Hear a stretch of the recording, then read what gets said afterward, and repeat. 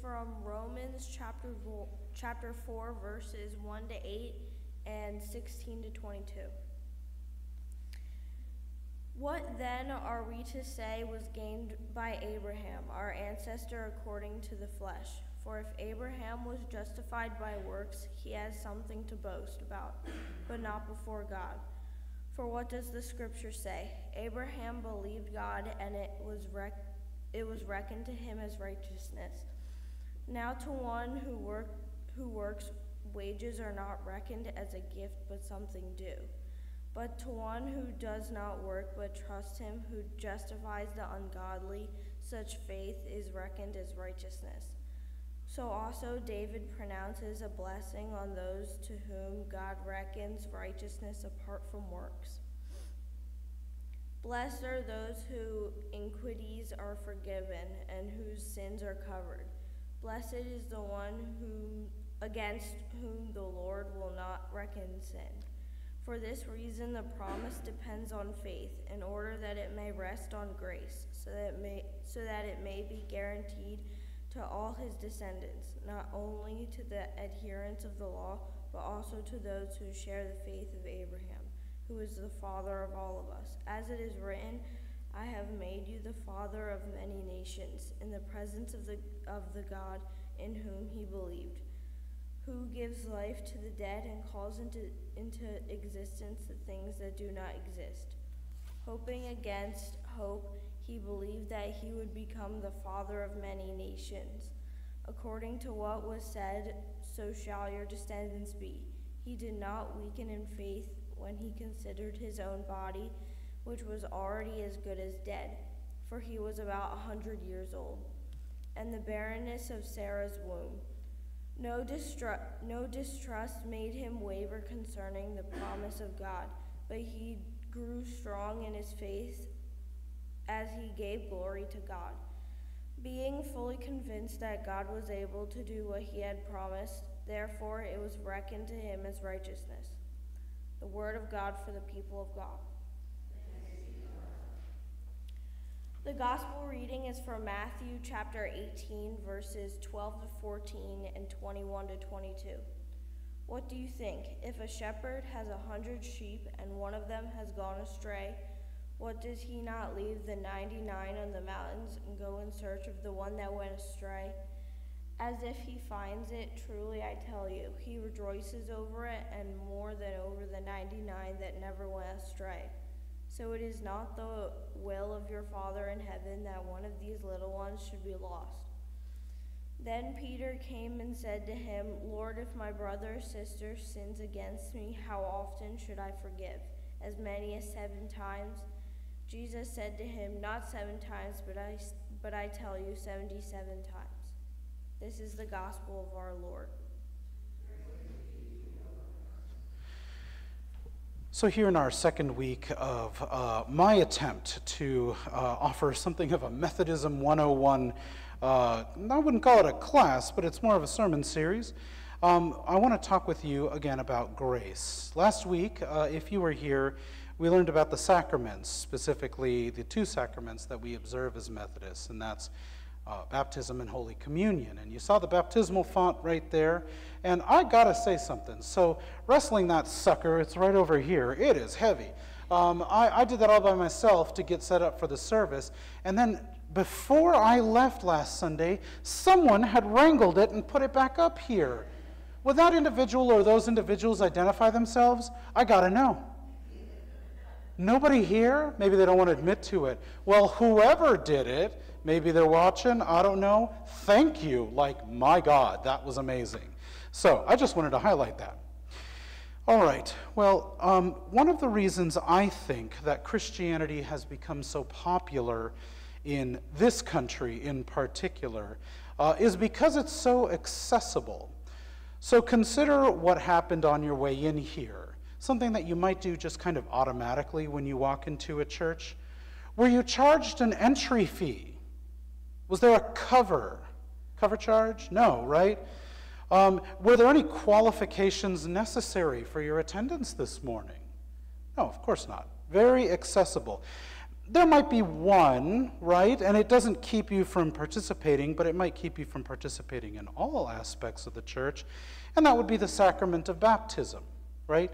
In some churches, you have to be uh, uh, baptized as an adult. And as we learned last week, in the Methodist Church, well, we baptize infants too, because we believe through confirmation, which happens later in life, that a young person um, or an adult might later confirm the vows that were taken for them at baptism, all on the road to salvation, uh, one journey of faith, as it were. Now, I must say, um, this has not been the state of things throughout time, like your ability to just walk in the door and come in and park yourself on a pew and do absolutely nothing. Like, that's not been the case throughout time. In fact, I would dare say that as the Christian church, we have found all kinds of creative ways to take something very simple, like remember in the stories of Jesus, he'd always be on the countryside and people would just come sit down and listen to the man talk. Um, and we've turned it into something complex, you know, sometimes very systematic. So, take, for example, the evolutions of Christian denominationalism throughout history. You're going to get a history lesson this morning, folks. Um, and it might seem that on the surface, especially in old Europe, that these differences of belief seem to be differences about theology, you know, our beliefs about God, but in fact were really just expressions of monarchy. So here's an example. In medieval Europe, Christianity became so segmented primarily because of the beliefs of a nation's ruling monarch. Uh, take the Anglican Church, for example, which I'll talk about in a moment, through which John and Charles Wesley, the founders of Methodism, um, that's, that, that right there is like a prime example. So if you remember your history, there was a time when the Empire of Rome uh, stationed troops in Britain, right? They sought to conquer it, they did. And through that relationship, Roman Catholicism eventually became the faith of the land. Many peoples were converted to this religion, and it was as much a state religion as it was just a faith. But it had a uniquely Celtic flair because those were the peoples that lived in the area, the Celts. And eventually, this unique form of Roman Catholicism became widely practiced as the Roman See, that's the governance of Rome, the religious governance of Rome, established Augustine of Canterbury as the first Archbishop of Canterbury, which, as you know, especially in recent royal functions, is a very important role and for nearly a thousand years, Britain was solidly Catholic.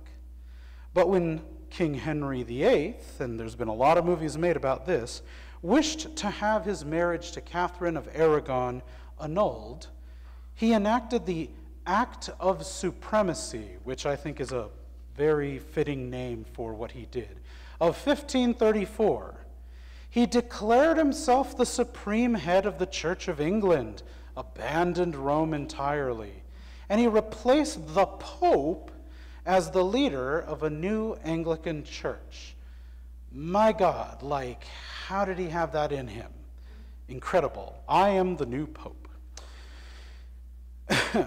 Many strands of Christianity, in fact, began in this way uh, with the act of a monarch, but usually only after a great conflict.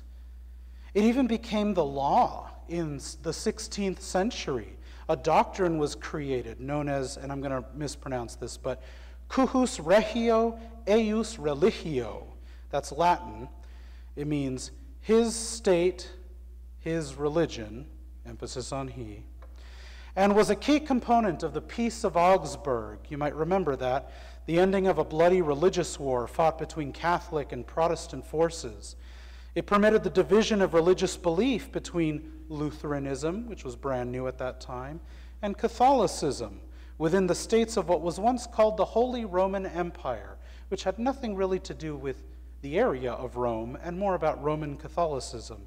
And this was an area that once encompassed nearly all of Europe, including Germany, Italy, and much of Northern and Eastern Europe.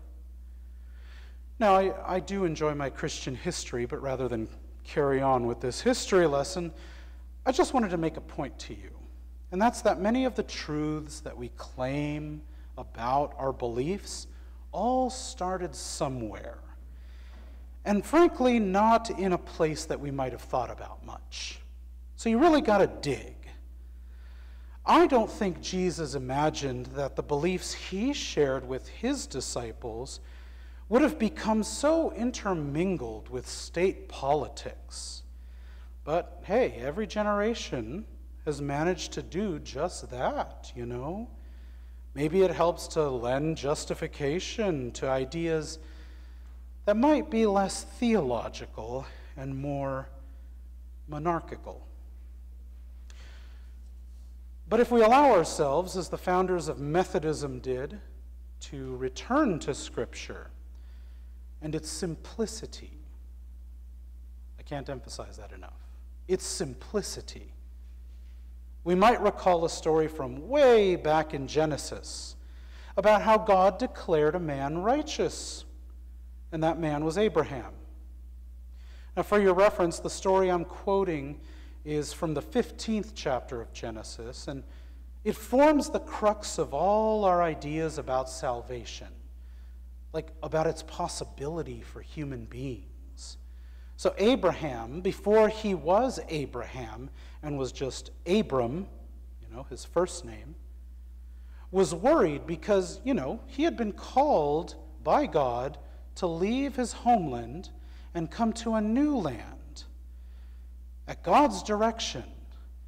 And he's the only one that got the message. And he had to convince his family and all of his household to uproot and move because God said so. And this man was getting on in years, and he realized hey, it's been a while. I don't have any heirs. Who am I going to pass all of this on to? He'd obeyed God's call, but he was ultimately concerned about who would carry on after him. God promised Abraham that his offspring would number the stars. In fact, that's what Abraham means it means father of multitudes. And God, who knows the heart of people through and through, when he promised Abraham, that's going to happen. You're going to have a descendant, and not just a descendant, but descendants upon descendants upon descendants. God realized that when God spoke this promise, Abraham believed it. Abraham believed in the promise. That was Abram's act of righteousness. He didn't do anything to earn the righteousness. God conferred it because Abram believed God in his heart. And God gave him a new name. Now, the stories of Abraham, and specifically this story, became the tool that the Apostle Paul would use to bring Christianity to non Jews. It became the bridge that helped connect Jesus' atoning sacrifice to the idea of salvation and covenant for everybody, for all people, not just Jews. Unfortunately, English translations of Greek texts kind of rendered a sort of artificial division between Jews and Christians. And it led to a lot of anti Semitism and the persecution of Jews throughout history. I mean, Jews were blamed for killing Christ, they killed the Savior. But that wasn't so. I mean, Jesus was a Jew. uh, Jesus was not attempting to found a new religion, he was refining the one that he was in already, that might have missed some important information about who God was because of the propagation of tradition over the years and its authority. By the way, John and Charles Wesley, our founders, were both Anglican priests in their own right, and they themselves did not set out to create a new religion, not in the UK, not in America. Like Jesus, they only sought to refine the church that they were a part of. And refine, not reform, which is a very different thing. Now, as Christians, we're big on salvation and how Christ's work on the cross saved us from the power of sin. Now, salvation doesn't appear to be a major emphasis in Judaism on first glance, but the truth is, the story of salvation is baked into Jewish history and practice. So, God is active in the world. When you read the stories of the old Israelites, what does God do for them? God secures a place for them to live, God gives them an identity. God forms them into being a people of light for the nations. And what we as Christians call salvation isn't really different from that vision. We too believe that God is active in the world, so active, in fact, that people received the very personage of God in the form of Christ. And yet, people also condemned him to die according to worldly ideas of justice and righteousness. And we do the same through our sin. We reject Christ. We reject the very idea of God for, frankly, very selfish, temporary benefits that ultimately do not deliver the peace that we might have sought for ourselves but lead only to greater hunger. A hunger Jesus understood when he called himself the bread of life. Eat of me, he said. Those that do will never hunger again. Not the same kind of hunger you get, well, in the next half hour or so. Now, this laid bare the idea that something is very wrong with people when they find themselves capable of condemning someone who has done nothing to merit condemnation, but has instead only served to help others. And that's really commonplace in our world, you know, because the worldly agenda is based on self advantage. And every year that goes on, we optimize for greater and greater self advantage. We work very hard to gain our advantages in life. And when someone comes along calling into question how we might be harming others when we seek these advantages, well, what do people do? They respond, often violently. They dehumanize anyone that might hold them accountable. We just don't want someone telling us that we can't exploit others for personal gain.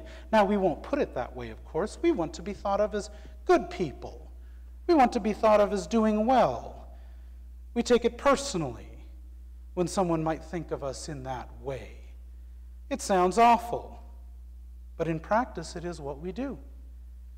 We don't want to be judged. So, for Christians, salvation is of critical importance. We understand that people are driven to sin for these reasons. And we are grateful to God for the justice and mercy to be found in Christ. Now, God's work at Pentecost, and I don't know if everyone here remembers Pentecost, it was that moment when the apostles had gathered together in one place, and the Holy Spirit gave them the ability to profess the gospel in many languages. Excuse me.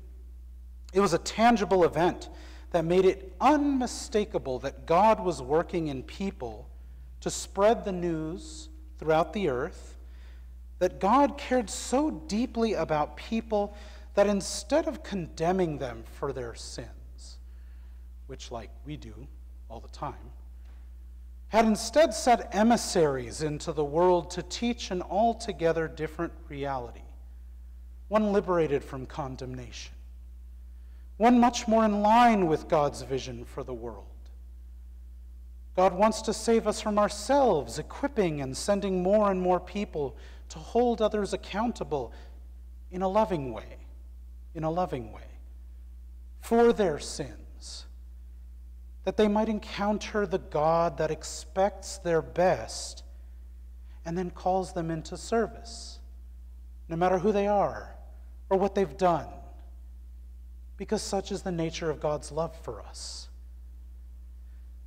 And God does this in every language, in every way imaginable, some ways we probably haven't even encountered yet or might approve of and does it by sending people entirely unacquainted with where they may be going or who they might encounter there to speak the message God gives them. And helps the messenger, not the receiver of the message, to convey the message in a way that makes sense to them. God does not ask people to change themselves to receive the message. God asks the messengers to allow themselves to be changed by God to deliver the message faithfully. This all sounds like a bad idea to me, frankly, which is probably why I'm not God. I mean, I think it's a fearful way to go about spreading the gospel. Can you imagine? People do not like to change. Come on. They will change if the situation demands it, but, well, I'd say most people prefer moments of change to be abrupt blips on a lengthy timeline of comfort and normalcy, you know, well air conditioned with an abundance of snacks. And I think that shows a profound distrust of God, the author of life. Change is a normal part of life. It happens all the time. At any moment, life is changing. It must. It's part of the process. And yet, the world is a fearful place. So much of the world cannot be changed by us. This might be why the evangelistic task, you know, the bearing of the message hence, might be too great a task for us to bear. We don't want to go out into the world and risk ourselves or be judged by people we may not care anything about. And we forget our faith too easily. We forget that God has command over all the world, over all our faiths. Faith is what enables us to trust God enough to answer when God calls, to stop putting our comfort and advantage first and simply follow, as Abraham did, opening us up to that moment when the thoughts of our hearts and the intentions of our minds line up, and God proclaims our righteousness. so, what I've done here is try to illustrate for you an entire journey of faith with absolutely no buzzwords, anything like that, you know, from nothing to hopefully something. Now, in Methodism, we believe that human beings are meant to be renewed in righteousness. We call it regeneration. Some people call it being born again, you know, reconciled to God, enabled to serve. That moment of decision. That's justification. We recognize that in baptism and confirmation. But it doesn't mean that we won't ever fall back into sin. No, of course not. We're human, we're not perfect, and we were not created to be. God knows what God built. And we don't have to be perfect.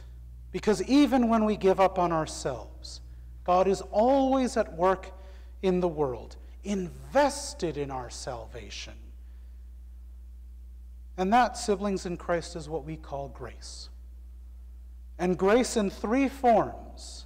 Now, here come the buzzwords prevenient, always there, with a dogged intent on helping us to find our way. Justifying, or justification, as I mentioned, when we turn to God in baptism and actually receive God's forgiveness for ourselves, aligning with God's way, and sanctifying, helping us recognize our ongoing need and dependence on our Savior, guiding us back on the path. By grace, through faith. That's it.